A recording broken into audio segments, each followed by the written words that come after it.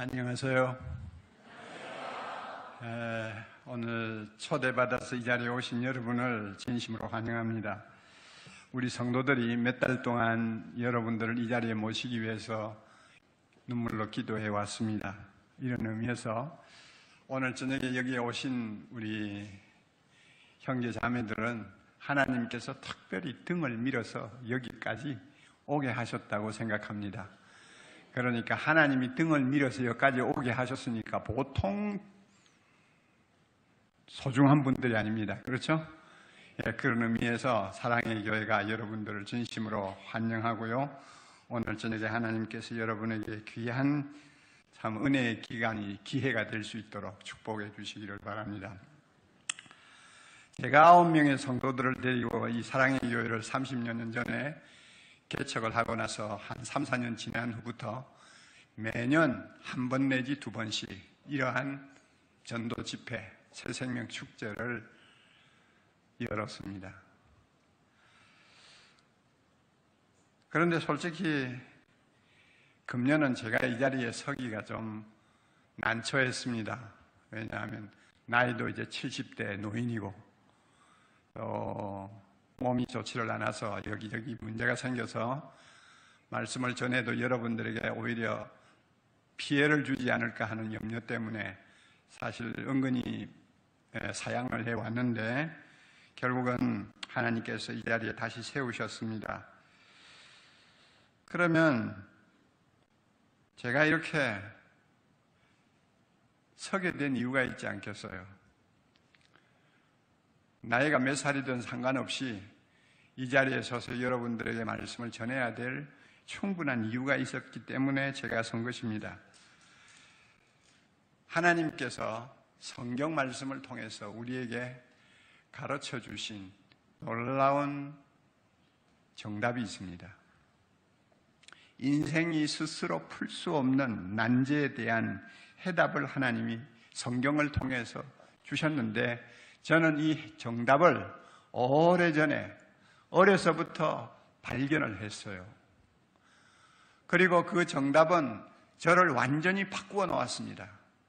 인생관도 바꾸고 인생의 목, 적도 바꾸어지고 사람 됨됨도 바꾸고 그렇게 해서 지금까지 이 좋은 하나님이 주신 정답을 많은 사람들에게 전하고 가르치기 위해서 목사가 되었고 40년이 넘도록 교회 지도자로서 오늘날까지 일을 해왔습니다.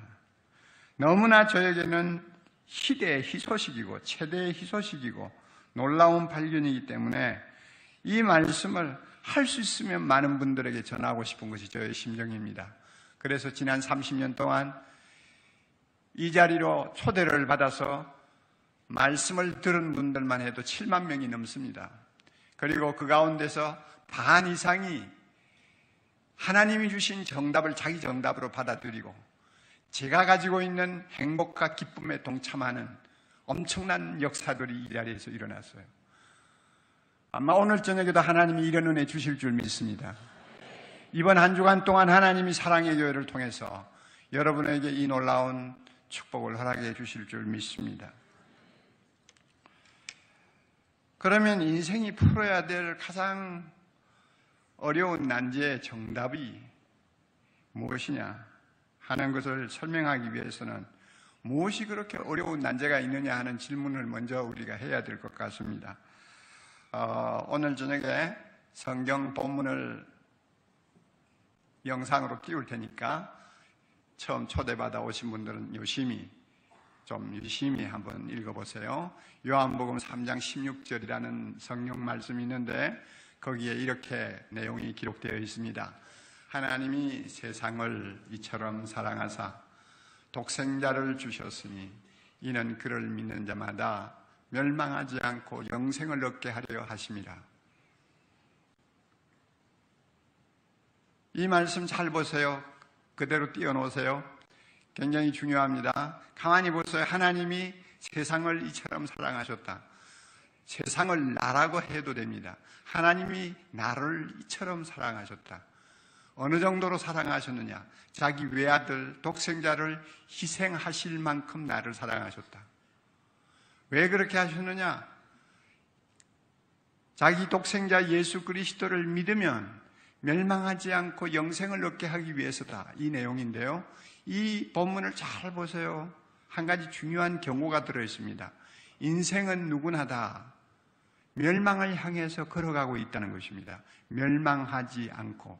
그러니까 지금 멸망의 길을 다 가고 있다는 것을 전제하는 말씀이 이 속에 들어 있어요. 그러므로 이 말씀은 경고입니다. 너희 모두는 다 멸망의 길을 지금 가고 있다. 그대로 가만히 있으면 망한다. 그러므로 이 멸망을 피하고 영생을 얻을 수 있는 길을 택하라. 거기에 대한 해답을 얻어라.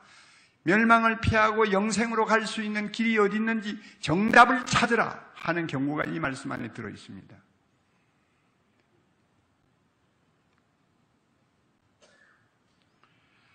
그럼에도 불구하고 사람들은 이런 경고를 참 무관심하게 듣습니다. 뭐 교회에서는 하는 소리다 이렇게 생각을 하죠. 그러면서 아주 치명적인 몇 가지 착각을 가지고 세상을 살고 있습니다. 주로 어떤 착각을 하고 살고 있느냐? 여러분들이 예외가 아니었을 아닐 겁니다. 우선 먼저 세상이 전부다 하는 착각을 가지고 살고 있어요. 이 세상이 전부다. 그래서 이 세상이 전부이기 때문에 여기에 내가 마음을 다 바치고 최선을 다하고 마음껏 즐기고 그렇게 해서 살다가 가면 된다. 이 세상이 전부다. 이런 생각을 하는데 이게 착각이란 말이에요. 왜 제가 착각이라고 하느냐 하면 이 우주 만물을 창조하신 분이 계세요. 하나님이세요. 하나님은 천지 만물을 창조하시고 인류를 인간을 자기 형상을 따라 만드셔서 모든 것의 주가 되, 주인이 되고, 되어, 되고 계십니다. 이분이 세상은 전부라고 말씀을 하시지 않아요. 세상은 전부가 아니래요. 성경에 보면 이런 말씀이 있어요. 인생은 풀이요. 인생의 영화는 뭐 좀 즐거워하고 명예롭게 생각하고 뭐 자랑하고 하던 그런 영광은 그 풀의 꽃과 같다. 그러면 풀의 숙명은 무엇입니까? 마르는 거예요. 꽃의 숙명은 무엇입니까? 떨어지는 거예요. 세상은 바로 이런 것이다. 하나님께서 성경에 분명히 말씀을 하셨어요.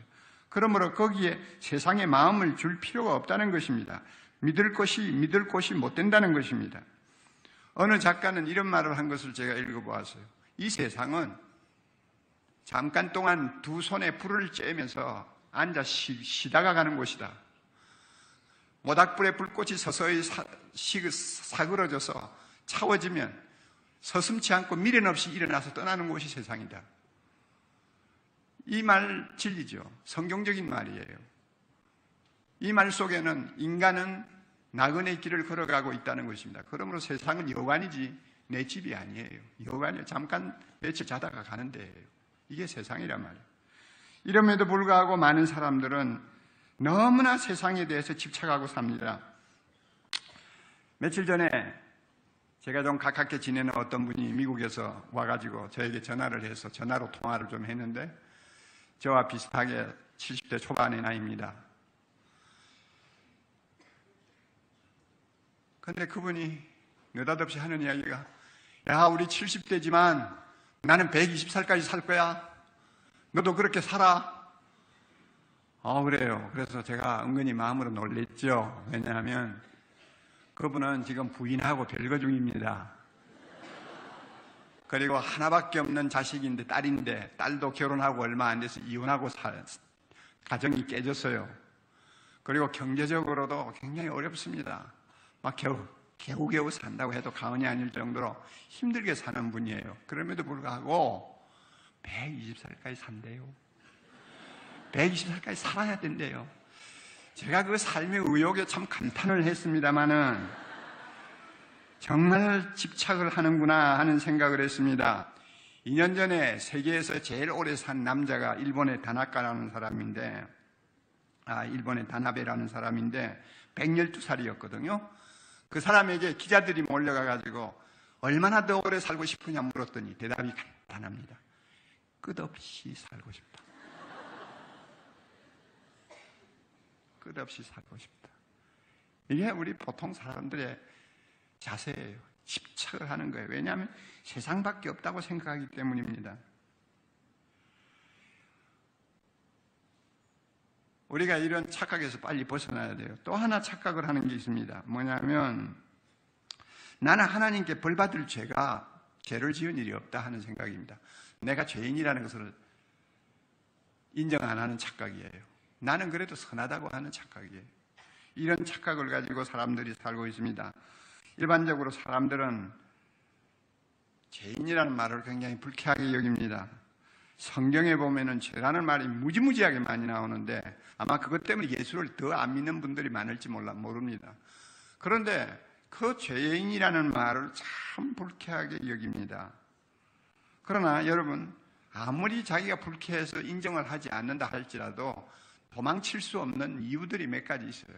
간단하게 제가 말씀드릴게요. 왜 우리가 하나님 앞에 선한 존재가 아니고 죄인인지 증거만 되면 되잖아요. 증거가 있어요. 우리를 만드신 분은 하나님입니다. 만드신 이유. 오직 하나님만을 경배하고, 하나님만을 기쁘게 하고, 하나님이 원하시는 선한 일을 위해서 한 생을 아름답게 살라고 하나님이 우리를 만드셨어요. 그래서 우리를 보고 생육하고 번성하라고 말씀하셨어요. 그래서 오직 하나님 중심의 삶을 살도록 하기 위해서 우리를 만들어 놓았는데 우리 인간은 태어나면서부터 하나님, 누가 하나님이 되었냐면 자기 자신이 하나님이 되어 버렸어요. 여러분 가운데 하나님 따로 모시고 사나요? 아니죠. 자기가 하나님이죠. 항상 자기를 위해서 살잖아요. 자기만을 위해서 자기의 어떤 욕망, 자기의 어떤 목표를 위해서 달려가지 않습니까? 자기가 하나님이 되어버린 거예요.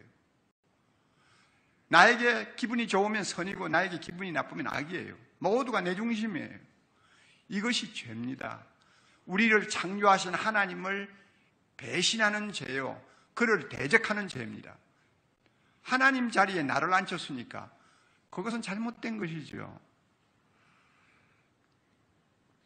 뿐만 아니라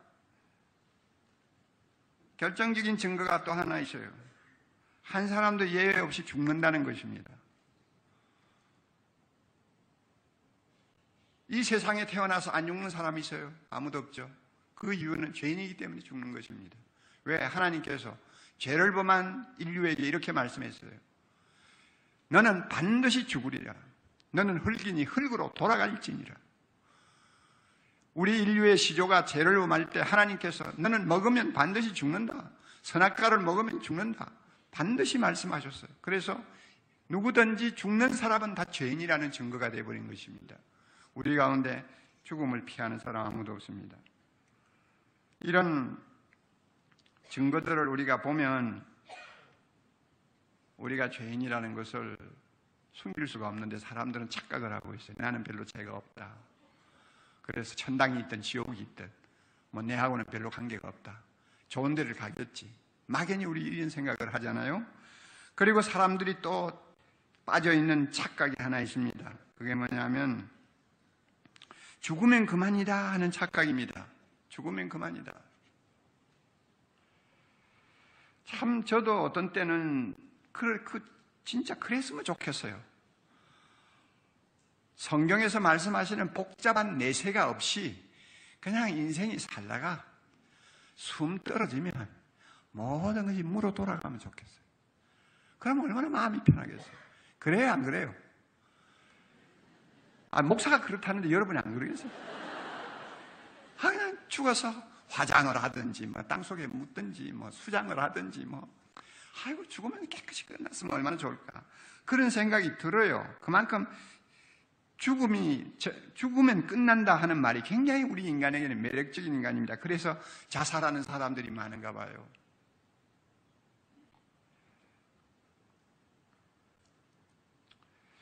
(24년) 동안 그 대하 소설을 쓴 여자 작가가 있죠. 토지라는 작, 그 대하 소설 24권을 쓴 고 박경리 작가요. 한국 문학계에 아주 참 중요한 족적을 남겨놓고 떠나신 분인데 그분이 80대 중반에 세상 떠나고 나서 그가 남긴 유고 시집이 있어요. 그 시집을 제가 한번 쭉 읽어봤습니다. 읽어봤는데 그 참 뭔가 생각을 하게 만드는 글귀가 있었어요. 모진 세월 가고 아 평안하다. 늙어 이리 평안한 것을 늙어 이리 평안한 것을 버리고 갈 것만 남아서 참 홀가분하다. 버리고 갈 것만 남아서 참 홀가분하다. 그럴 것 같아요. 그런데 그 말 밑바닥에는 어떤 감정이 깔려 있어요? 죽으면 다 끝만 끝이다. 죽으면 다 끝이고 평안해진다. 하는 이런 생각이 깔려 있는데, 그런데 말이죠. 우리는 그렇게 매력적으로 생각을 하지만, 인류를 만드시고 인류를 세상에 보내신 하나님은 그렇게 말씀하지 않아요. 죽으면 끝이라고 말씀하지 않아요. 이게 이제 문제인 거예요. 우리는 죽으면 끝이면 좋겠는데 그렇지 않대요 절대. 다시 요한복음 3장 16절 띄워주세요. 자, 잘 보세요. 하나님이 세상을 이처럼 사랑하사 독생자를 주셨으니 자 여기까지 나중에 설명할 테니까 몰라도 돼요. 그 다음 보세요. 이는 그를 믿는 자마다 멸망하지 않고 영생을 얻게 하려 함이니라. 인생이 무덤에 들어간 다음에는 두 길이 있어요. 하나는 멸망의 길이고 하나는 영생의 길이 있다는 거예요. 있다는 거예요. 아무것도 없는 게 아니라 있다는 거예요. 멸망으로 가든지 이 멸망이라는 말은 그냥 없어진다는 의미가 아니에요. 이것은 성경이 말씀하는 굉장히 의미가 깊은 용어인데요. 영원히 죄값을 치른다는 말도 되고 하나님의 진노를 받는다는 말도 되고 저주를 받는다는 말도 되고 또 어떤 성경에는 지옥이라는 말로도 표현이 되고 무시무시한 단어가 저 멸망이라는 단어예요. 저 멸망을 겪으면서 영원히 살아야 될 내세가 있다는 거예요. 거기를 안 가면 영원히 하나님과 더불어 살 수 있는 영생의 길, 천국의 길이 있다는 거예요. 그 거기서 살아야 될 영원한 기간이 기다리고 있다는 것입니다. 죽으면 그만이 아니에요. 그 다음이 있어요.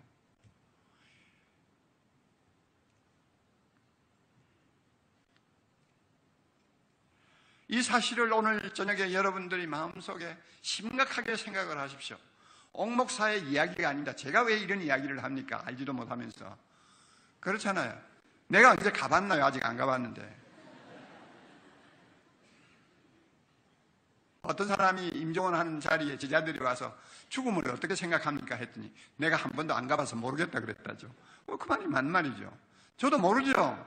저는 망고불변의 진리인 성경 말씀 속에서 하나님이 하나하나 가르쳐 주신 것을 제가 여러분에게 소개하는 것입니다.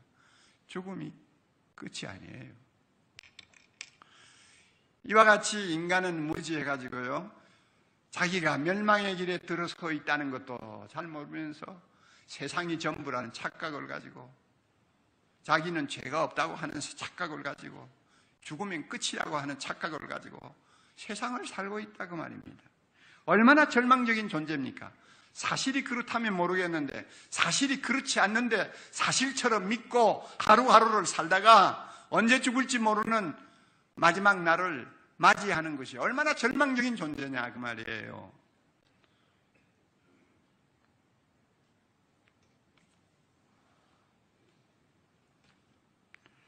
심지어 이런 문제를 놓고 해답을 찾아야 되겠다는 고민도 없어요. 정답이 어디 있는지 찾아 헤매지도 않아요.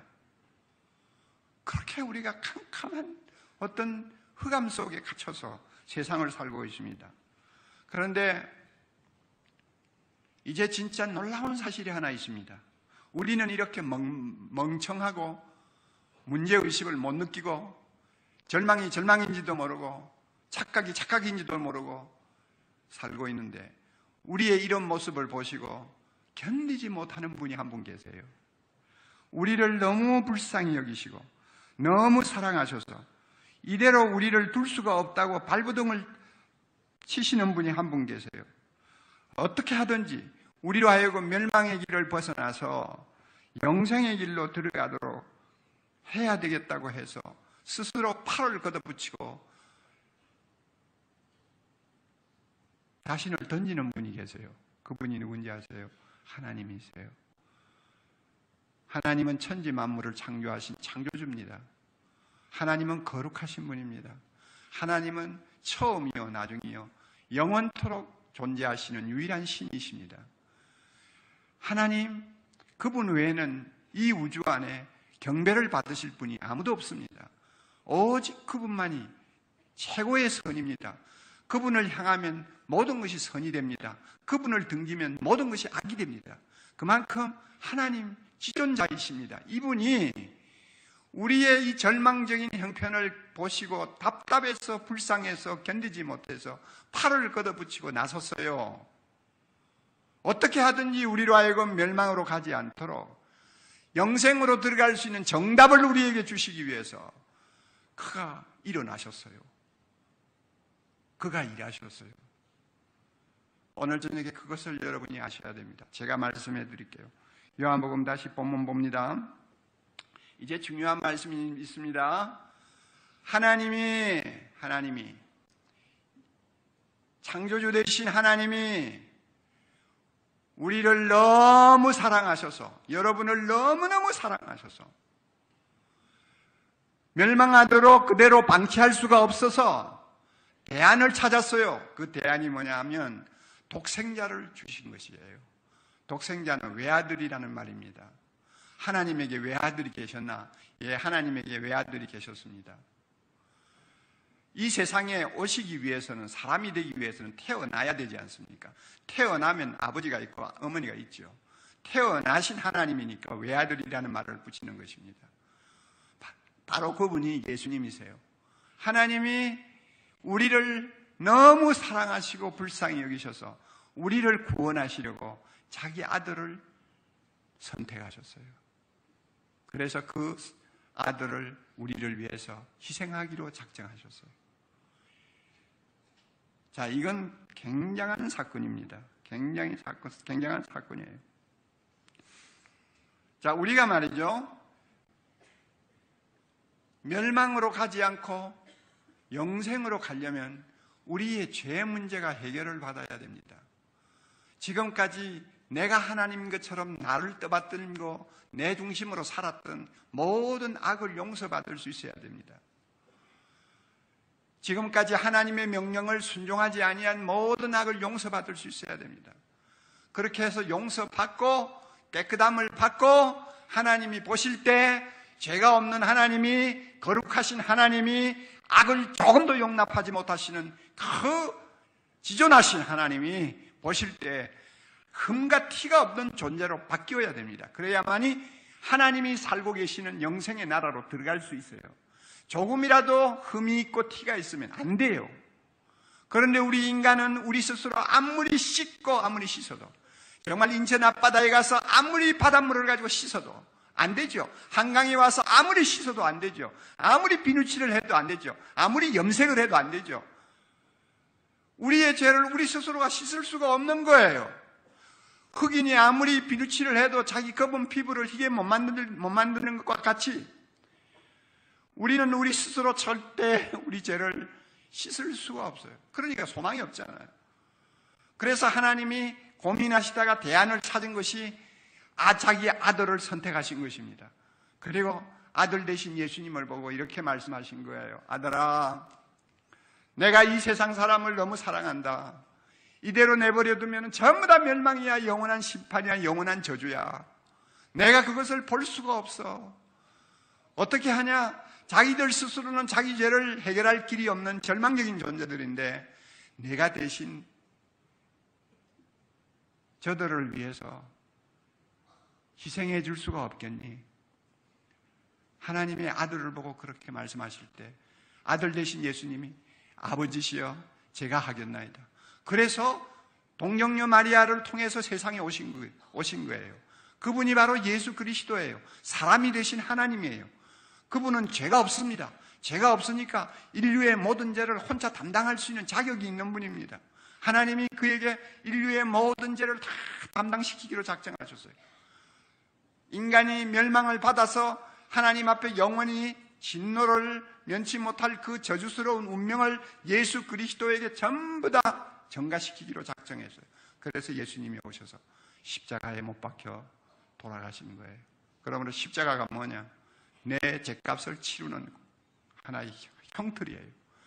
내가 예수님이 안 계셨다면 지옥에 가서 영원토록 치루어야 될 하나님의 진노요 형벌입니다. 이것이 십자가입니다. 십자가에서 주님이 죽으시도록 하셨어요. 그 이스라엘 나라에서는 그 제사 제도가 있는데요.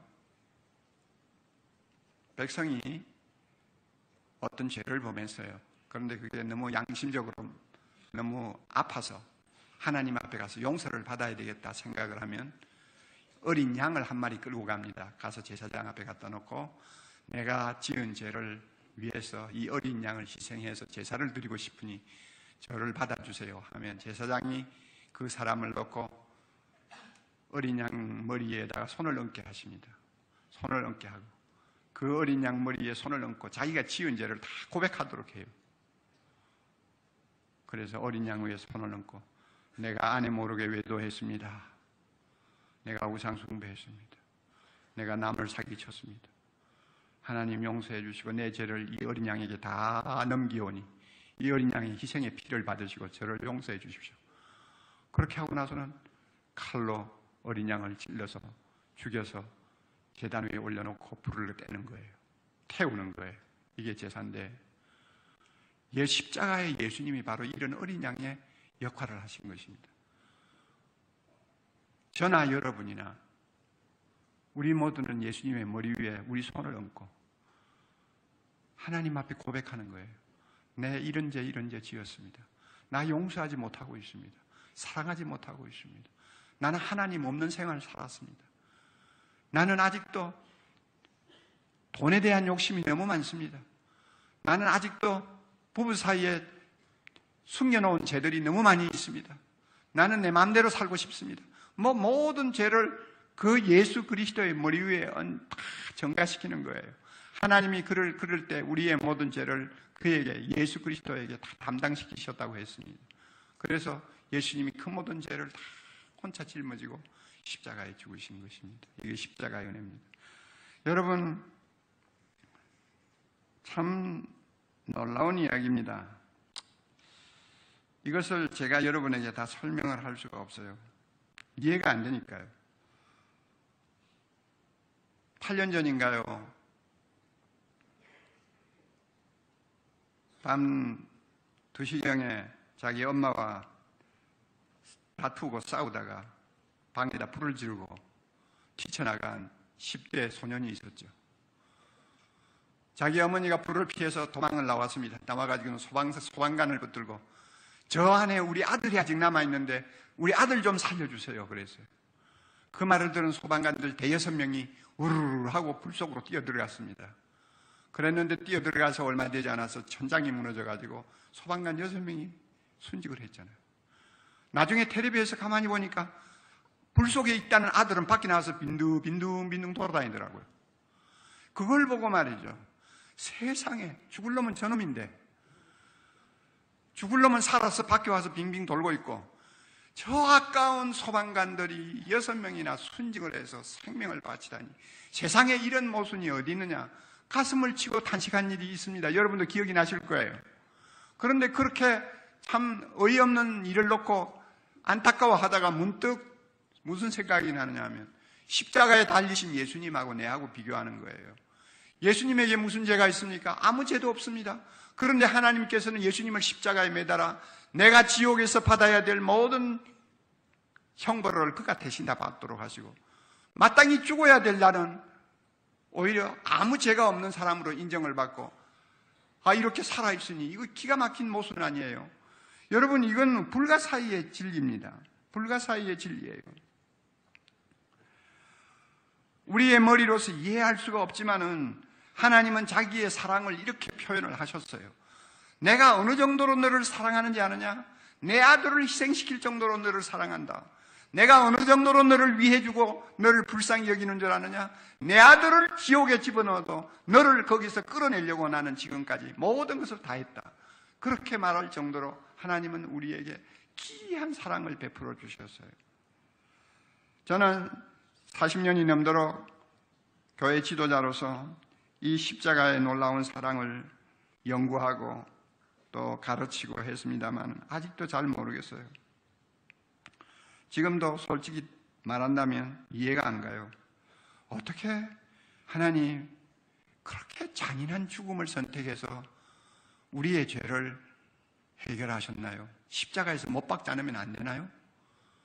그렇게 잔인한 방법이 아니면 우리가 죄 용서함을 받을 수 있는 길이 없나요? 하나님 우리를 사랑하셔도 그렇게 이해할 수 없는 방식으로 사랑하셔야 됩니까? 제 마음속에는 계속 이런 의문이 나와요. 그러나 하나님께서는 그 방법만이 우리를 살릴 수 있는 길이라고 말씀하셨어요. 예수님은 하나님의 원하시는 대로 순종하셔서 십자가에 죽으셨습니다. 그렇게 하자 하나님께서 그를 사흘 만에 죽은 자 가운데서 부활하게 하셔서 하늘과 땅의 모든 권세를 그에게 주셨습니다. 우리 하나님께서 부활해서 부활해서 살아나신 예수님에게 모든 인류의 죄를 다 용서할 수 있는 권세를 주셨습니다. 예수님은 우리의 모든 죄를 용서할 수 있는 권세를 받으셨어요. 누구든지 예수님에게만 가면 모든 죄 용서받고 멸망의 길에서 영생의 길로 들어설 수 있는 자격을 얻을 수 있도록 하나님께서 정권을 예수님에게 다 맡기셨어요. 이분이 예수 그리스도입니다. 오늘도 이 자리에 부활하셔서 살아계시고 이 가운데서 우리 가운데 말씀하시고 우리를 오늘도 사랑하고 계시는 분입니다. 그래서 예수님께서 말씀하셨어요. 내가 길이요 진리요 생명이다. 나로 말미암지 않고는 아무도 하나님께로 갈 수가 없다. 영생을 얻을 수가 없다. 영원히 사는 축복을 누릴 수가 없다고 말씀합니다. 그분이 바로 예수 그리스도입니다. 그러면 어떻게 해야 우리가 이 예수님과 관계를 맺을 수가 있느냐? 이게 이제 중요한 겁니다. 예수님이 나를 위해 십자가에 죽으셨다. 그래, 좋다. 예수님이 죽은 자 가운데서 부활하셔서 나의 모든 죄를 다 용서할 수 있는 권세를 가지셨다. 그분에게만 가면 모든 죄 용서받을 수 있다. 좋다. 그렇다면 어떻게 해야 그분과 내가 관계를 맺을 수 있느냐? 내가 어떻게 하면 그분의 손을 잡을 수가 있느냐? 그분과 어떻게 연주를 맺을 수가 있느냐 하는 문제가 따릅니다. 본문 다시 봅니다. 잘 보세요. 하나님이 세상을 이처럼 사랑하사 독생자를 주셨으니 이는 그 다음에 무엇입니까? 그를 뭐예요? 믿는 자마다 이제 이 말씀이 중요한 겁니다. 하나님이 정답을 주셨어요. 어떻게 하면은 예수님하고 관계를 맺어서 멸망에서 영생으로 들어가는 축복을 누릴 수 있겠는가? 정답이 있다. 정답이 뭐냐? 그를 믿는 것이다. 예수를 믿는 것이다. 예수를 뭐 어떤 식으로 믿으라 말입니까? 예수님은 하나님의 아들이시요. 예수님은 나를 위해 세상에 오신 분이요. 예수님은 나의 죄를 짊어지고 십자가에서 내 대신 지옥의 형벌을 받으신 분이요. 예수님은 사흘 만에 부활하신 구원자시요. 예수님은 이제 오늘 온 인류의 구원자가 되셔서 우리를 하나님의 나라로 인도하시는 분이라는 것을 믿으라는 것입니다. 믿으라는 것입니다. 이렇게 우리가 믿으면 그 사실을 확실하게 믿으면 어떤 축복을 하나님이 주시느냐? 자, 여러 가지가 있습니다만 제일 중요한 것은 죄 사함 받는 것입니다. 저나 여러분이나 어떤 죄를 지어서도 예수님 믿겠습니다. 저의 죄를 용서해 주세요. 하고 고백하면 모든 죄를 깨끗하게 씻어 주십니다. 여러분 이거 안 믿어지지요? 우리가 예수 믿겠다고 고백하는 순간에 모든 죄가 깨끗 이 씻음 받을 수 있습니다. 과거의 죄도, 현재의 죄도, 미래의 죄도 다 용서받고 하나님 나라에 들어가면은 하나님하고 얼굴과 얼굴을 맞대고 서도 조금도 두려움과 가책이 없는 깨끗하고 흠과 티가 없는 존재로 하나님이 바꾸어 주세요. 예수님이 우리를 그렇게 만들어 주세요.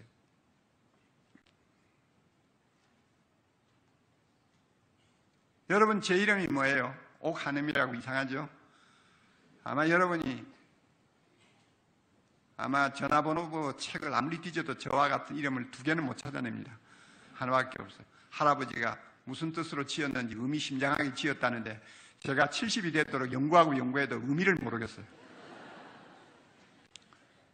그래서 너무 어렵고 힘들어가지고 제가 이, 이 이름을, 저, 제 이름을 저 별로 안 좋아하는데요. 그런데 언젠가 설교를 준비하다가 제가 큰 깨달음을 받고 내 이름을 사랑하게 되었어요. 아, 옥한음이라. 옥은 구슬이라는 뜻이거든요. 다이아몬드. 내가 예수님을 몰랐, 몰랐다면, 내가 예수님을 몰랐다면, 멸망을 받을 수밖에 없는 존재일 거요. 한이 없이 흠이 많은 다이아몬드였었는데 내가 예수님을 알기 전에는 한이 없이 흠이 많은 다시 말하면 제가 한이 없이 많은 다이아몬드 그거 쓸모가 없죠. 한 푼 가치도 없죠. 옥인데 내가 예수 믿고 나니까 하나님께서 나를 어떻게 바꿔 주셨느냐?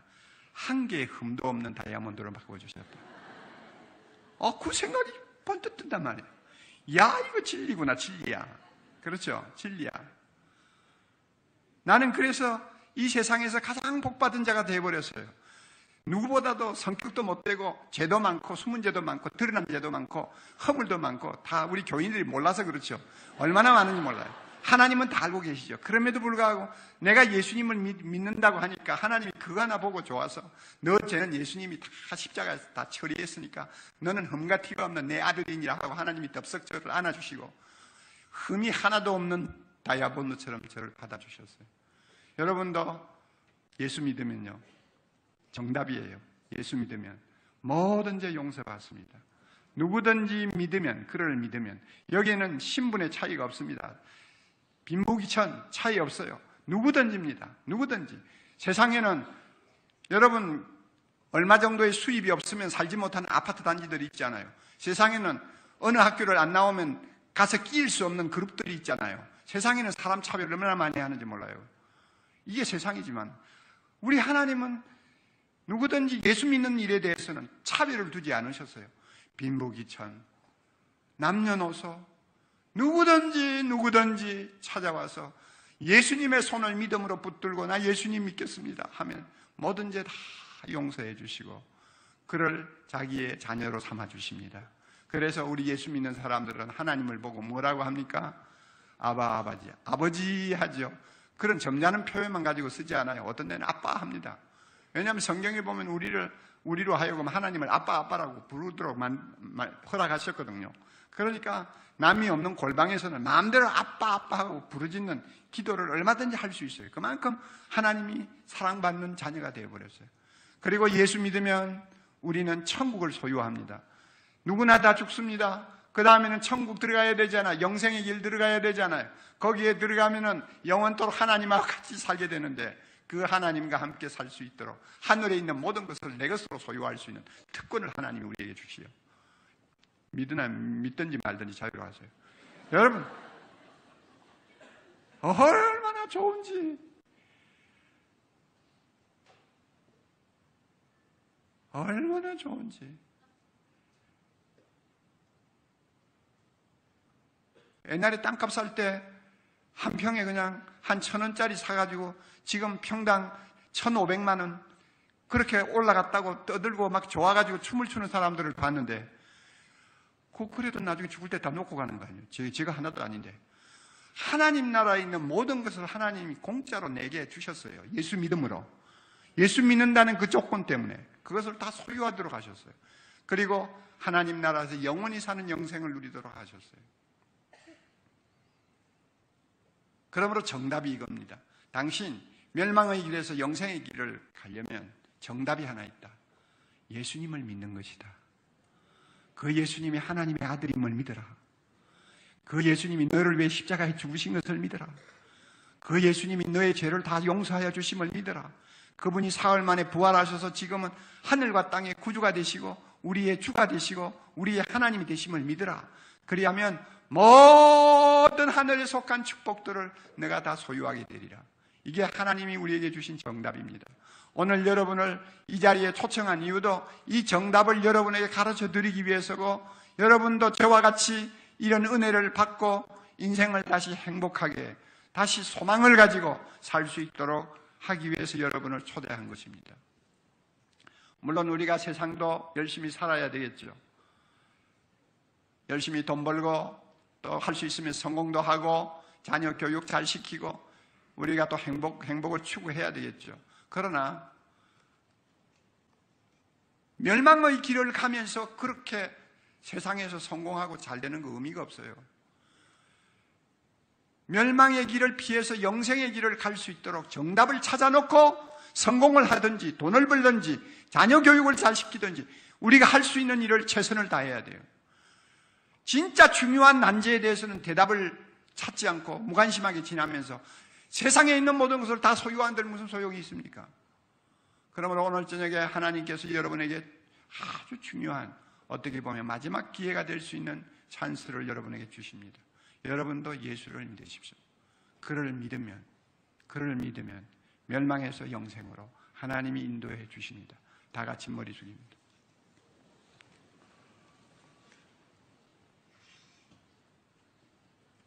여러분 조용히 한번 생각해 보세요. 여러분은 이상한 착각 속에서 살고 있지 않습니까? 세상이 전부라는 착각 말입니다. 나는 죄가 별로 없다고 하는 착각 말입니다. 죽으면 다 끝이라고 하는 착각 말입니다. 전부 거짓말입니다. 창조자 하나님은 그렇게 말씀하시잖아요. 우리 인생, 이 세상은 잠깐이고 여관이에요. 나그네 길이에요. 그 다음에는 영원히 사는 영생의 길로 가든지 아니면 영원히 죄의 심판을 받는 멸망의 길을 가든지 또 가야 되는 길이 있고 또 살아야 되는 영원한 세월이 있어요. 그것을 대비해서 내가 지금 멸망의 길에 서 있다면 빨리 여기를 벗어날 수 있는 정답을 찾아야 됩니다. 오늘 저녁에 제가 이 정답을 여러분에게 말씀해 주셔 드렸습니다. 하나님이 여러분을 사랑하십니다.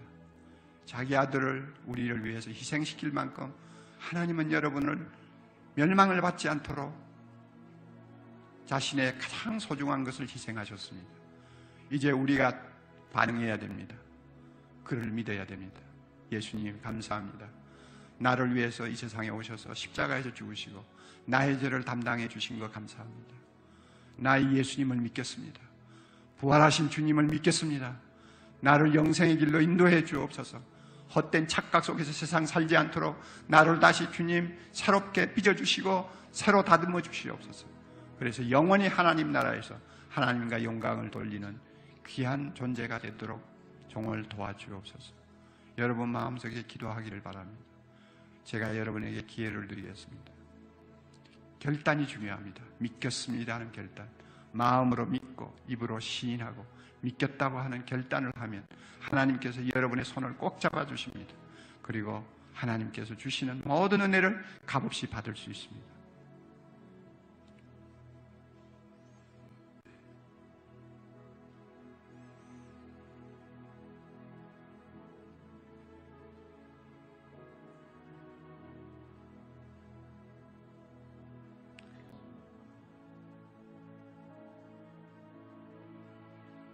여러분 이 자리에 오실 때 여러분을 모시고 오신 분들이 계시죠?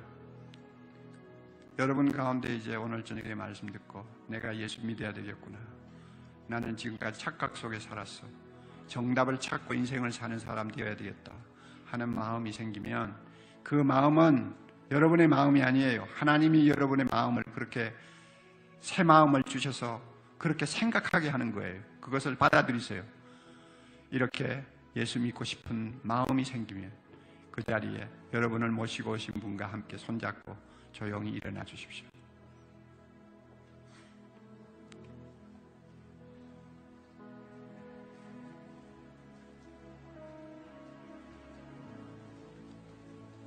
하나님이 여러분을 사랑하십니다. 자기 아들을 아끼지 아니하시고 희생시킬 만큼 하나님은 여러분을 사랑하십니다. 그래서 지금 이 자리를 빌려서 여러분을 초대하고 계시는 것입니다. 주저하지 마십시오. 헛된 세상에 속지 마십시오.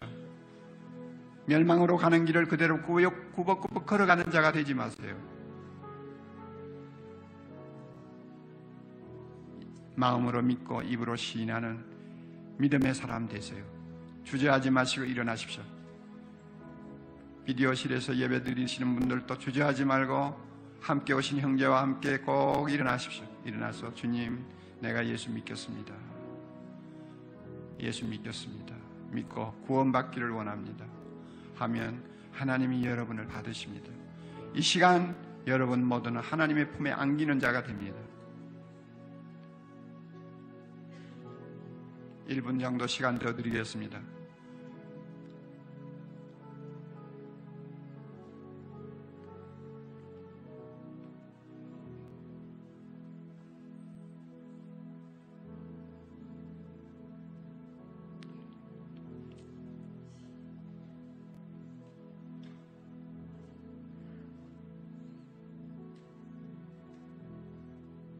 주저하지 마시고 일어나셔서 결단하시고 하나님의 영광스러운 자녀 되시기를 바랍니다. 주 예수를 믿으라 그리하면 너와 내 집이 구원을 얻으리라. 주 예수 그리스도를 믿으라 그리하면 너와 내 집이 구원을 얻으리라. 하나님의 약속입니다. 아버지 하나님 감사합니다. 이 시간 우리 인간이 스스로 풀 수 없는 난제를 놓고 하나님이 주시는 정답을 들을 수 있도록 기회 주신 것을 감사합니다. 오늘 이 자리에 예수님을 믿기로 작정하고 일어선 귀한 형제 자매들 주님이 받으시기를 바랍니다. 지금까지는 하나님 모르고 살았습니다. 내가 하나님이 되어서 살았습니다. 하나님을 대적하면서 살았습니다. 그러나 이 모든 죄를 고백하고 십자가에 죽으신 예수 그리스도를 찾아와 나왔사오니 주님께서 이 형제 자매들을 받으시옵소서. 모든 죄 용서받게 하시고 하나님의 영광스러운 자녀 되게 하셔서 평생 하나님을 아바 아바지라 부르며 살게 하옵소서. 하늘에 있는 모든 좋은 것들, 하늘에 있는 축복들을 다 값없이 소유하는 복된 자들이 되게 하옵시고 거룩하신 하나님 아버지 우리가 이 세상 떠나고 나면 영원토록 하나님과 더불어 영원토록 영생하는 영원토록 복락을 누리는 복된 주의 자녀 되게 해 주시옵소서. 일어선 주의 자녀들 마음에 마귀가 시험하지 못하도록 성령께서 감화감동시켜 주셔서 오늘 밤에 결단하고 결심한 것이 평생 하나님 변함이 없도록 우리 주님 축복해 주시기를 바라옵나이다. 이 형제 자매들을 통해서 모든 영광 주님 홀로 받으시옵소서. 예수님 이름으로 간절히 기도드리옵나이다. 아멘.